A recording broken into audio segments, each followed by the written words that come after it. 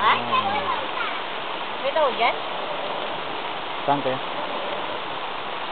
Mama, kita ka sa hmm. aming asin!